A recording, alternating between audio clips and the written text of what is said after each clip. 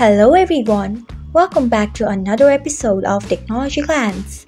Today in this video, I'm going to guide you through how you can change display to dark mode on TikTok. So let's get started.